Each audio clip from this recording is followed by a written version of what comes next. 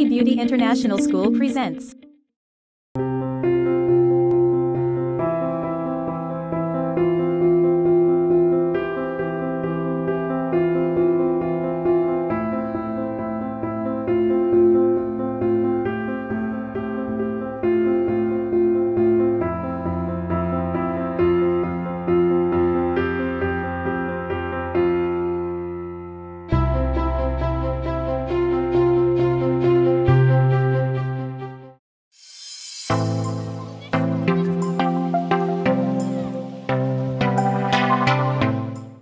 The emotional impact of hair loss.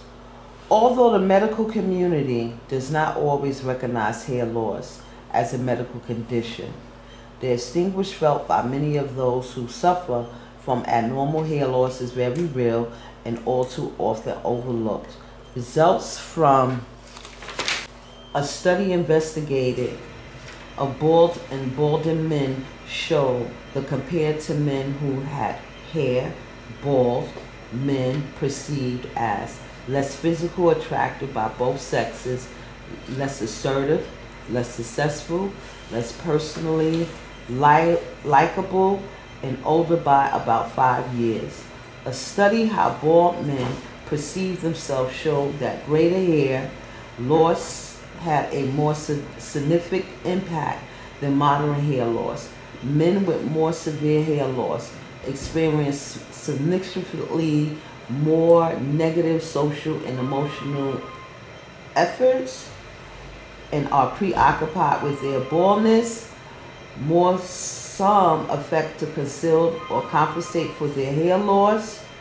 Abnormal loss is not as common in women as it is in men, but it can be very traumatic and devastating for women who experience it because of studies indicate women have a greater emotional investment in their appearance.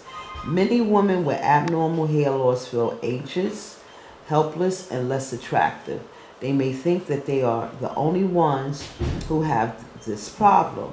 They also tend to worry that their hair loss is a symptoms of serious illness and sometimes try to digest it from everyone, even their doctors, which is usually a mistake.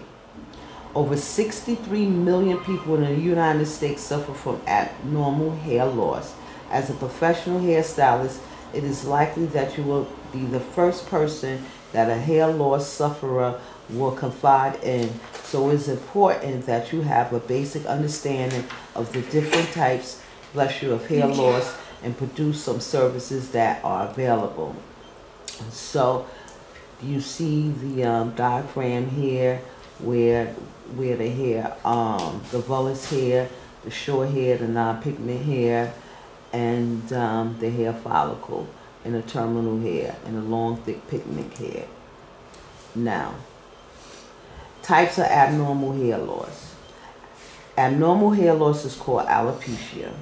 The three most common types of abnormal hair loss are andro- androgenetic, alopecia, alop- alopecia, alopecia areata, and postpartum, postpartum alopecia. Androgenetic alopecia, also known as androgenetic alopecia, is hair loss that is characterized by of terminal hair that is converted into the vellus hair. It is usually the result of genetic, age, or hormonal changes that cause terminal hair to minim- minimalize. Androgenetic alopecia can begin as early as the teens and is frequently seen by the age of 40. By the age 35, almost 40% of both men and women show some degrees of hair loss. In men, androgenetic alopecia, known as male pattern baldness, and usually progress to the familiar horseshoe shaped fringe of hair. In women, it shows up as a generalized thinning over the entire crown. Androgenetic alopecia affects millions of men and women in the United States. Alopecia areata is an autoimmune disorder that causes the affected hair follicles to, to be mistakenly attacked by a person's own immune system phase. It is highly unpredictable skin disease that affects an estimate of 5 million people in the United States alone. This hair disorder usually begins with one or two more small, round, smooth, bald patches on the scalp and progress to total scalp hair loss known as alopecia totalis or complete body hair loss called alopecia universalis. Alopecia areata occurs in males and females of all ages, races, and ethnic backgrounds and most often begins in childhood. The scalp usually shows no obvious signs of inflammation, skin disorders, or diseases. Postpartum alopecia is temporarily hair loss experienced at the end of pregnancy. For some women, pregnancy seems to disrupt the normal growth cycle of the hair. There's very little normal hair loss during pregnancy, but then there's sudden and excessive shredding from three to nine months after delivery. Although this is usually very traumatic to the new mother, the growth of the cycle generally returns to normal within one year after the baby is delivered. Hair loss treatments. Of all treatments, they are said to counter hair loss. There are only two products, minoxidil and finasteride, that have been proven to stimulate hair growth and are approved by the FDA for sale in the United States. Now, with those two um, products, if you stop using it, you go back to that hair loss. Yeah. Mm-hmm. Minoxidil is a topical applied to the surface of the body medication that is put on the scalp twice a day and has been proven to stimulate the hair growth. It is sold over the counter as a non-prescription drug. Minoxidil is available for both men and women and comes in two different strengths. 2% regular strength solution and 5% extra strength solution. It is not known to have any serious negative side effects. The most well-known minoxidil product on the market is Rogaine. Finasteride, finasteride is an oral prescription medication for men only, although finasteride is more effective and more convenient um, than minoxidil. Possible side effects include weight gain and loss of sexual function. Women may not use this treatment, and pregnant women or those who might become pregnant cautious not to even touch finasteride tablets because of the strong potential for birth defects. In addition to the treatment described above, there are also several um, surgical options available to treat alopecia. A hair transplant is most common permanent hair replacement technique. This process consists of removing small sections of the hair, including the follicle, papilla, and hair bulb from an area where there's lots of hair, usually in the back, and transplanting them into the bald area. These sections grow normally in new locations. Only licensed surgeons may perform this procedure, and several surgeries are usually necessary to achieve the desired result. The cost of each surgery can range from 8000 to over 20000 I'm in the Hairstylists can offer a number of non-medical options to counter hair loss. Some salons specialize in non-surgical hair replacement systems such as wigs, toupees, hair weaving, and hair extension. With proper training, you can learn to fit color, cut, and style wigs and toupees. Hair weaving and hair extensions allow you to enhance a client's normal hair and create a look that boosts self-esteem. See Chapter 19, Wigs and Hair. Disorders of the hair. The following disorders of the hair range from those that are commonplace and not particularly troublesome to those that are far more usual um, distressing. Hair scalp analysis. All, such, all successful salon services must begin with thorough analysis of the condition of the client's scalp, the client's hair type. Knowing the client's scalp condition and the client's hair type allows you to prepare and make decisions about the results that can be expected from the service.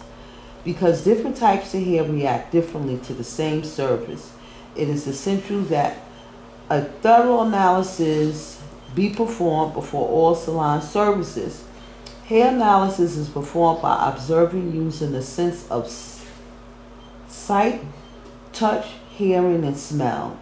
The four most important factors to consider is hair analysis are texture, density, porosity, elasticity, and other factors that you should also be aware of hair growth pattern and dryness, vellus, or hair texture is the thickness of the, the diameter of the individual hair strand. Hair texture can be classified as coarse, medium, or fine, and can vary from strand to strand on the same person hair. It is not uncommon for hair from different areas of the head to have different textures. Hair on the nape, back of the neck, crown, temples, and front hairline of the same person may have different textures. Coarse hair texture has the largest diameter. It is the strongest in fine hair for the same reason that a thick rope is stronger than a thin rope. It is often more resistant to processing than medium or fine hair. So it is usually required more processing when you are applying products such as hair lighteners, hair colors, permanent waving solution, and chemical hair relaxers. Medium hair texture is the most common texture and is the um, standard to which other hairs compare.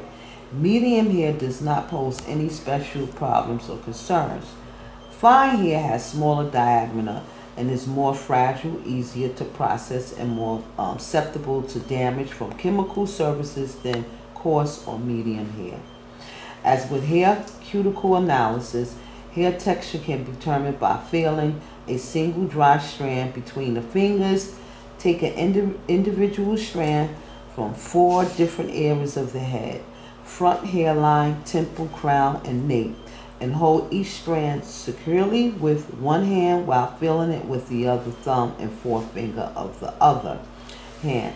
With a little practice, you will be able to feel it, um, the difference between coarse, medium, and fine hair diameter. And so they're giving you the breakdown, the um, images of what coarse hair looks like, giving you a breakdown of what medium hair looks like, and then also what fine hair looks like. Okay. And so when you want to test the hair texture, it's showing you how you can text.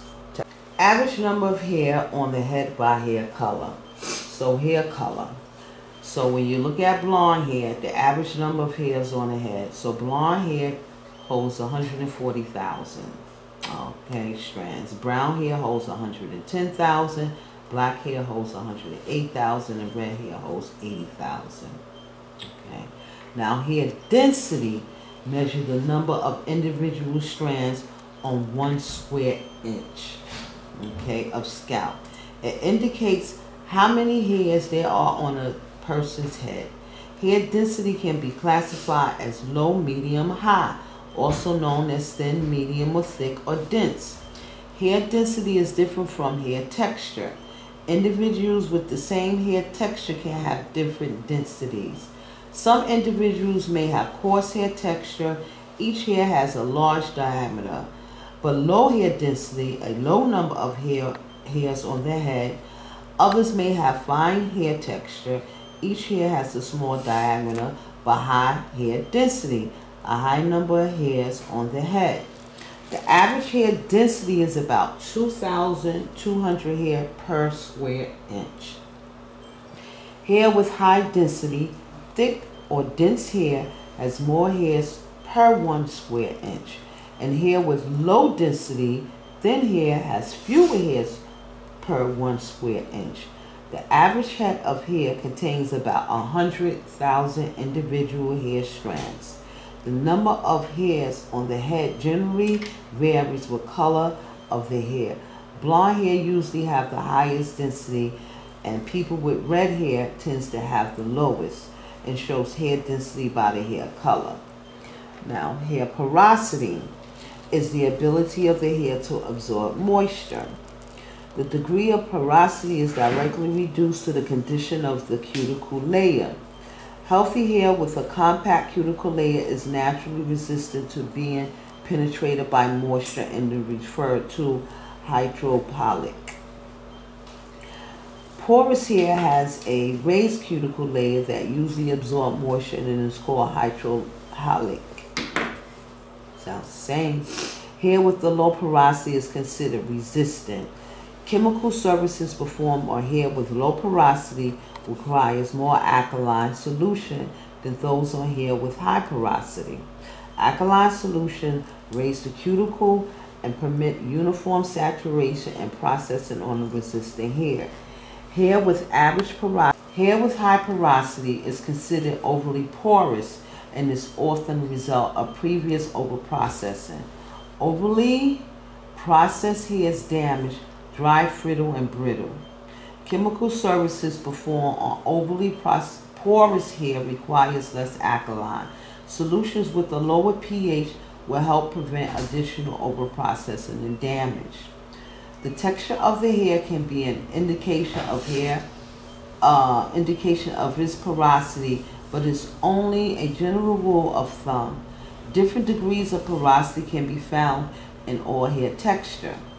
Although coarse hair normally has a low porosity and is resistant to chemical services in some cases, coarse hair will have high porosity, perhaps as a result of previous chemical services.